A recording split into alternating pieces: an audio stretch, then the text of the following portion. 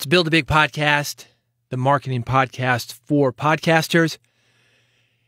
I got serious about radio and podcasting in 2005. And before I hit record, I was trying to think about how many interviews I have done over the years. I'm going to say between 500 and 1,000, at least 500, probably not 1,000, but probably closer to 1,000 than 500. Let's just say this I have done a lot of interviews. Some have been amazing.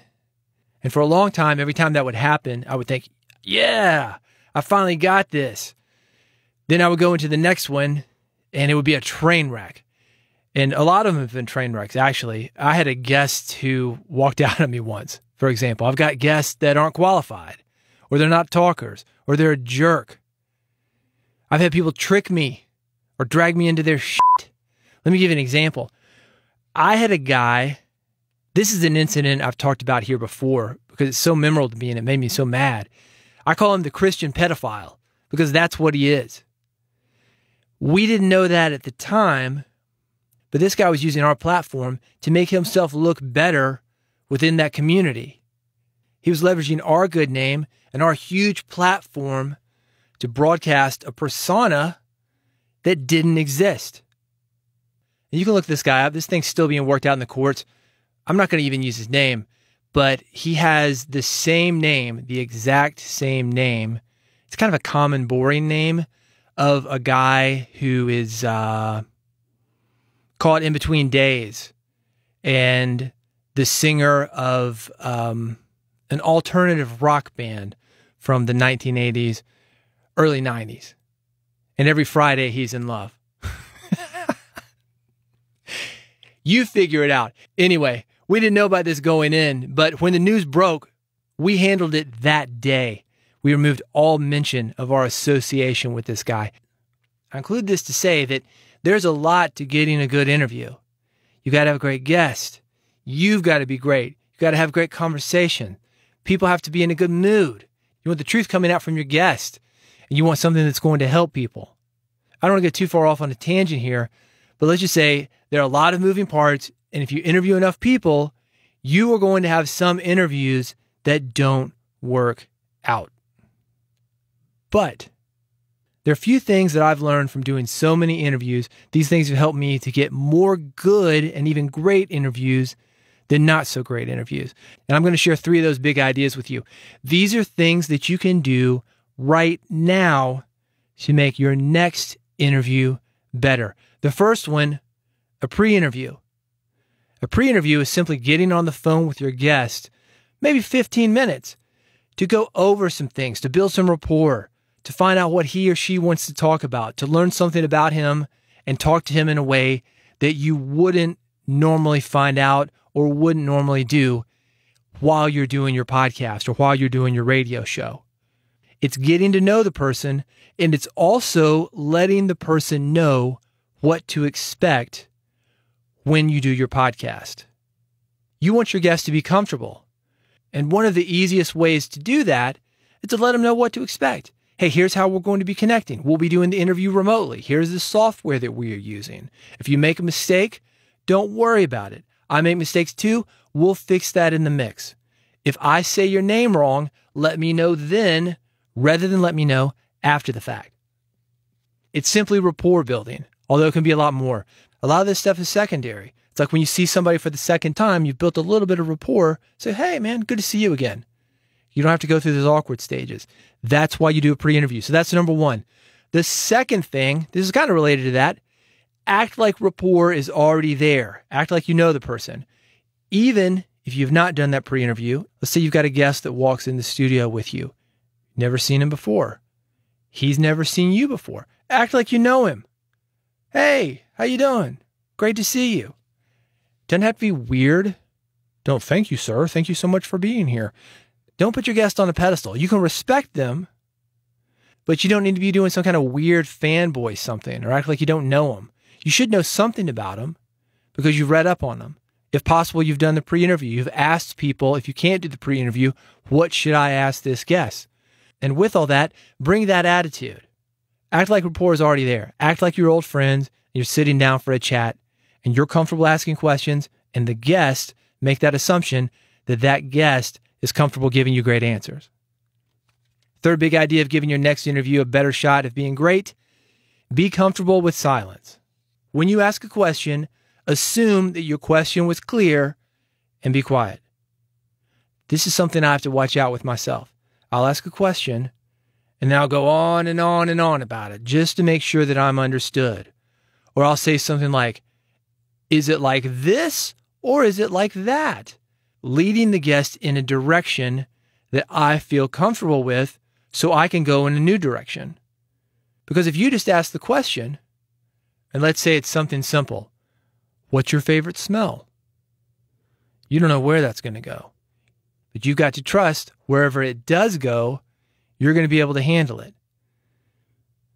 What you don't want is what's your favorite smell? Is it roses or is it fresh cut grass?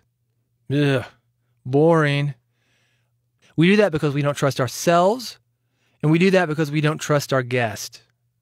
You'll see this a lot on biased talk radio shows.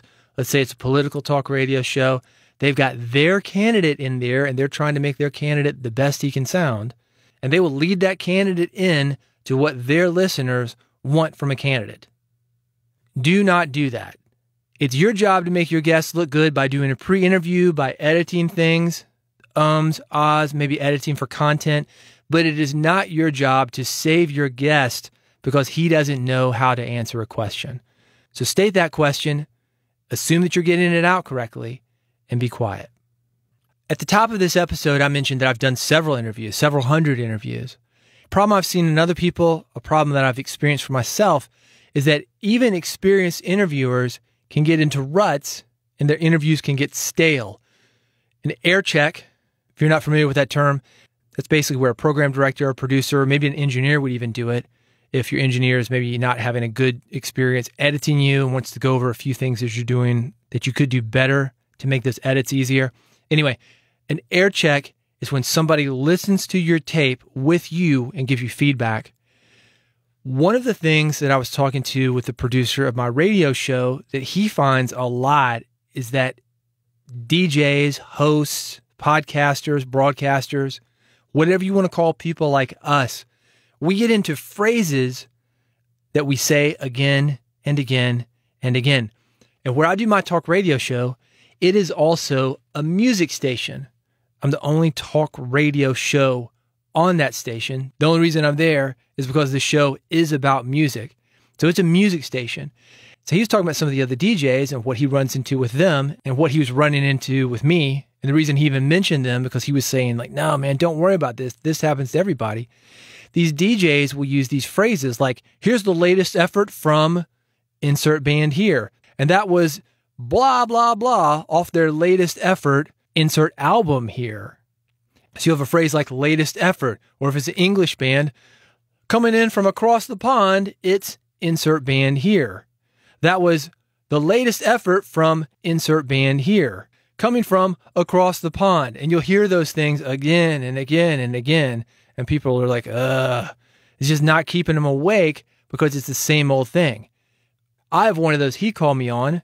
I would say a topic such as payola in the music industry. Talk about it. I would say talk about it after something. I would list a topic, talk about it. Hookers and blow for radio play. Talk about it. and he said, Hey, man, it's not a bad thing. I just want you to be aware of it ask a question. Don't just name something and say, talk about it. You can definitely hear this in podcasting. I'm going to pick on Tim Ferriss since I like to punch up. This is somebody who's doing really well and somebody that you've probably heard a lot of. He always does this thing where he deconstructs something. And that's the exact wording he uses. Like somebody will do something like hula hoop for 10 hours at a time or win a car race or do a thousand push ups or whatever people are doing on the Tim Ferriss show. And he'll say, let's deconstruct that. And he's got his way of breaking whatever it is that that guest did down into little bitty pieces. I would call that a rut. I mean, on one hand, it's good content, and that content is one of the reasons that people listen to him. But on the other hand, is there a back door or a side door or a slicker way to get into that content other than saying, let's deconstruct that. It's something to be aware of in your hosting, especially when it comes to questions. You don't want to be one of those guys who asks the same questions every single interview. There is a tool available to you to help you with that. I was at a podcasting event a few months ago. I picked it up. It's called Pod Decks, like a deck of cards. It actually is a deck of cards, a deck of cards with questions or topics or elements to get you thinking as a host in a different way. I didn't actually get the deck. I just got a few samples. I'm going to tell you in a second how I used them. I think you're going to be interested in it. Again, it's like a deck of playing cards, a question on each card. And there are a lot of ways to use them. For example, you could have a segment of your show where somebody picks from the deck, has to answer that question. Or if it's a remote interview, you draw from the deck. And of course, you could have a list of questions on paper. But if you really want to get into the showmanship of podcasting, if I had a deck of cards here, you can zip, shuffle it, rifle through it. You can really draw this thing out and get the listener's attention. If you're on video, or maybe you can just describe this. If you're on audio, spread it out on the table in front of you. You know, make it an event. Here's how I use them. As I mentioned, I didn't get the full deck. I just got a handful of them that I saw laying out. I said, I'm going to use this. And here's how I'm using it. On the next couple of episodes, I've got a couple of different podcasters joining me. I'm going to be using pod decks on those episodes, but it's going to be secret. It's going to be our secret. You're going to know, and I'm going to know. These guys, they're not going to know. Even if they hear this episode, because I've already done these. I'm going back in time and I'm putting these episodes into the future. How cool is that? So these guys didn't know when I interviewed them that I was using Pod Deck. So we talk about it. We talk about it. Is this a good tool for podcasters? How can you use them? Spoiler alert, I think it is a good tool. I think it's something that's going to get you thinking about doing better interviews for your podcast. I think it's something that's good for beginners, even if you to rely on it a little bit too heavily, because the best thing that you can do as a beginning podcaster or as an intermediate or advanced podcaster when it comes to doing better interviews is to actually do interviews. And what I talked about earlier pre interviews, assuming rapport, being quiet after you ask a question, that helps. But you've got to get behind the mic and have that time to become great. So, in the next two episodes, two podcasters, one of them I know you know, one of them you should know. That's coming up. We're going to put pod decks to the test, at least the half a dozen or so cards that I've got in front of me. If you want to make sure that you don't miss that episode, bigpodcast.com slash subscribe, bigpodcast.com slash subscribe. That's B-I-G podcast.com slash subscribe. While you are there, Get the podcast Interviewing School. It's a 30 day series where I walk you through a process of becoming a better interviewer. It is free and it is available to you at that same page where you will subscribe to this podcast, Build a Big Podcast, bigpodcast.com slash subscribe. Thanks for listening to Build a Big Podcast.